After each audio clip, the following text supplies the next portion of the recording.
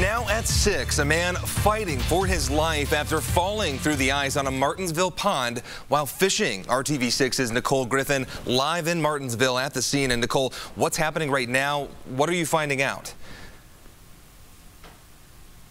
Well, Matt, good evening. Right now, emergency crews have left the scene, but the pond behind me is where that man was pulled out. We are zooming in on that location right now. He was pulled out of the water after falling through the ice. This is a private pond off of Hackers Creek Road in Martinsville, not far from the Morgan Monroe State Forest. Now, according to the Department of Natural Resources, law enforcement agency, the person who lives at the home saw footprints walking on the ice leading to a hole, and there was no fisherman or returning footprints. That's when the homeowner called 911.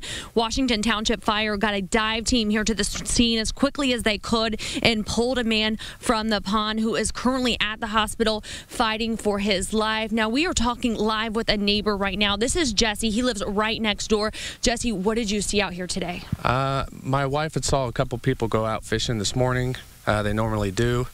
Uh, and it was about maybe 45 minutes or so after that, my daughter uh, notified me that there was something going on out here. Mm-hmm. I'd missed it. Um, we'd just been watching the crews come in and out, and we saw a few divers go in. Um, and what I seen, they didn't pull anybody out. So I think I'd missed the initial pull, uh, and then as, as about as much as I seen.